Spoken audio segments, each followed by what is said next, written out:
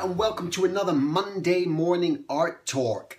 So, you know, I, I, contemplate a lot. I'm always thinking, and a lot of my thinking comes from when I'm drawing. Um, a lot of the time, I just sit there, I'm drawing, these thoughts are going through my head, and just trying to discover things for myself. And as I discover them, I find what I want to do. I got some weird light, uh, keeps shining, the, the clouds keep going on and on, so I'm just gonna adjust that there, see if that makes a, a difference in this. Um, and I think just what I find uh, through all this as I'm just contemplating a lot of things myself, where, where what is it for myself that I find true happiness? Where where where's my happiness uh, coming from? Where's all our happiness coming from?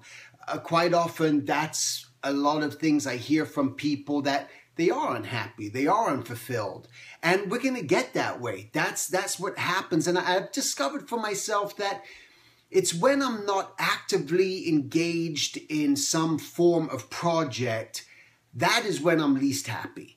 And I, what you have to do is more than anything is force yourself to create a project. Even though you may not be hired to do a project and you're not being paid for a project, your goal is to create that idea for that passion project of yours. I've mentioned it before in some other art class, and I think the most important thing you could do is imagine that you have everything, that you don't have to worry about the bills anymore. You've got all the money in the world. You won the lottery, whatever happened, it just happened. You got it. What is that thing that you're going to do from every day now? Uh, there's a new show that, you know, The Last Man on Earth. I haven't seen it yet, but I've always loved that idea if you were the last person on the planet. What would you do? What would be the motivating factor to keep you going? You don't need to worry about anything anymore. You you got all the things you want if that's what you want. If you want possessions, if you want the cars and the fancy houses and all that, you can have it. You can live wherever you want, do whatever you want there's nothing anymore that you necessarily need to save up for.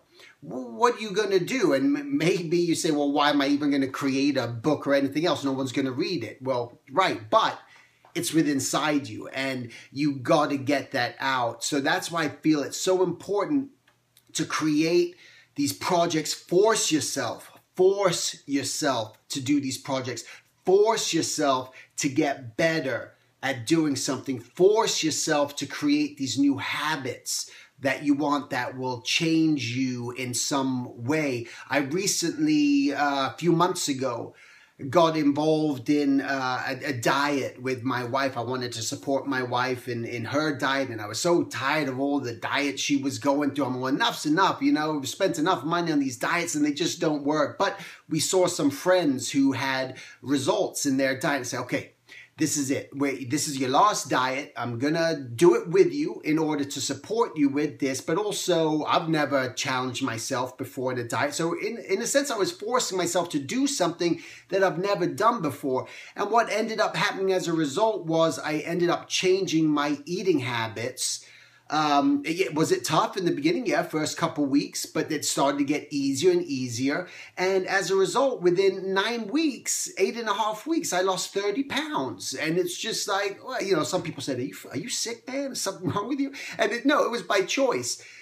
But I realized the vital importance of forming habits and the habits change just through repetition. So by forcing yourself to create your own projects, again, not worrying about the end result, because that's oftentimes why we don't do things in the anyways, because we're too caught up in what the result's going to be. What's the outcome going to be? If I do this and it doesn't work out, well, now I'm going to be depressed because now I'm going to be upset and, and, and, I, and I can't do anything else and I'm not going to move forward anymore and it just, just didn't work out and I'm just going to give up. But if you can get to the point within yourself and through habit, and it is through repetition, to going through this process many times, where what happens is when that thing doesn't work out that you wanted to, it doesn't go the way you thought it would, but you're okay with it, that's when it doesn't matter. So what? So what? Look at the opportunities that you're having to even try it anyway. So that's why I just wanted to, uh, d- you know, discuss today about just creating your own projects. Don't worry about the outcome. Um, you're going to find that your happiness, coming back into the happiness, is by taking action and doing something. And the happiness doesn't even come from the accomplishment. You may be going through creating your own project. You may have developed your own series. You may have your own show. You may have your own books. You may have those things that you want, that you thought you wanted, and go, I'm still kind of unhappy. I'm still not, you know, fulfilled. You're going to keep going through that the rest of your life. And it's only through the action when you're actually doing something is that true happiness. It's not even that end result because what happens after you finish with that? What do you do next? You just go, What's next? What's the next thing? So you're already searching again for the next thing.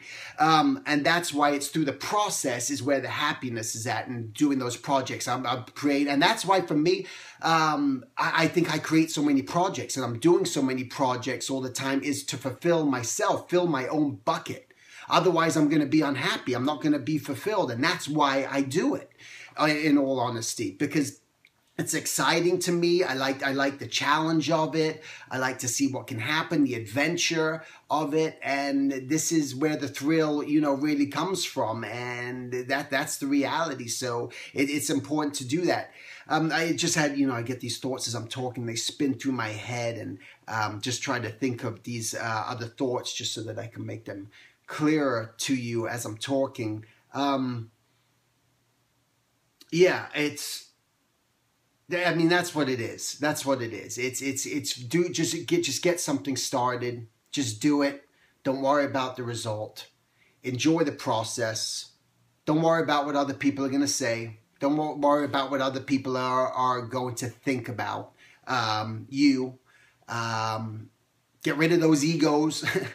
the ego is the biggest thing that is destroying so many uh, that messes people. They get too caught up in themselves. They get too caught up in their, who they think they are and, and, and how people should perceive them. Or and and it's a horrible thing to work in a studio environment with uh, egotistical people. That's that's the worst. That's the worst thing where they just think they're just better than you and they think that they know what's right for you or or everything else and and and it's a killer and it destroys momentum and it destroys the energy of a studio environment these egos. Um, and if everyone was just cool and just laid back and just let things be and know that it whatever happens happens. Just chill. It'll make it fun for everyone. But again i know that you can't control other people. You can't control other people's thoughts. You can't tell other people how to live their lives um, I think all you can do is just reflect on yourself and for yourself, just try to discover what actions can I take as a creator? What can I do that's going to work for me? What's going to push me forward?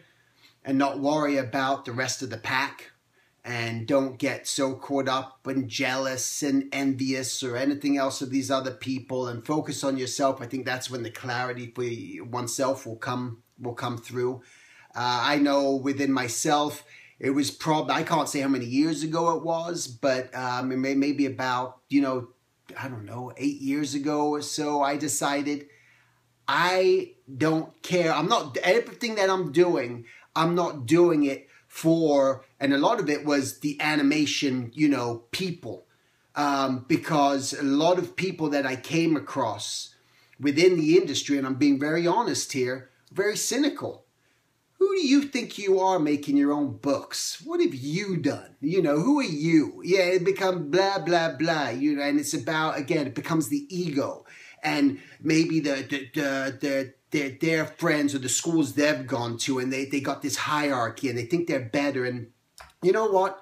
Art is about having fun. There's so many different styles in art. There's so many different ways of creating and showing your art. There's no right or wrong way. There's a, there's a mindset, there's a philosophy, it's self growth. We all want to grow, and that's why we do it and we want to learn. Uh, this is why I teach. I know that I have a lot to teach and share. I'm never trying to impose my style upon anyone and saying that this is the absolute must way to draw. And if you don't draw like this, you're a failure. No, you know, it's just about creating new ideas, new exercises, new rhythms, new patterns, new ways, new approaches. And, and again, we've seen things that have been successful that aren't the best drawn things. I think what's more important than anything is just you having your right mindset and saying that I'm doing this for me. I do want to improve. I, I there's certain things that I, I know is missing in my artwork that I want to make better, and those are the things you work on, and those are the things you improve upon. But um, yeah, just just uh, relax, relax. um, force yourself to work on these projects Put yourself out there. Don't be afraid. Don't worry about the outcome. Enjoy the day. Enjoy this life. Be thankful that you can wake up every morning and, and take a piss. Be thankful that you can hear and see, you know, if you if you can. And uh, just be, I think, be grateful for what it is that you do have and stop worrying about all the things that you don't have because that'll mess you up. All right? I rambled on here, but it's art talk and that's what I do. That's what we do. Just talk, see what comes out. I hope this has helped you. Again, check in every Monday um, is on my new art talks. Um, please subscribe. Would love that. And thanks again for watching. And I'll talk to you guys again next week. Take care.